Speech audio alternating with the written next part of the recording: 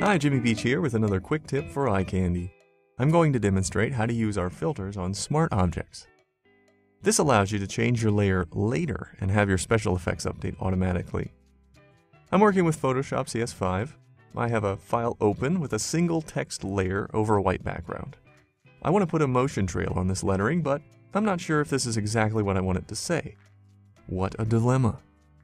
If you convert the text to a smart object, the dilemma is solved. It's easy to do.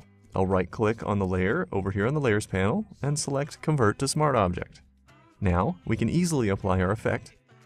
I'll go to Filter, Eye Candy Text and Selection, Motion Trail, and my previously used setting looks good. But we need to shut off the New Layer checkbox because we're working on a smart object. Once we're done with that, press Enter to apply. Now let's change our verbiage. To do that, I'll double click on the layer thumbnail and open up the smart object.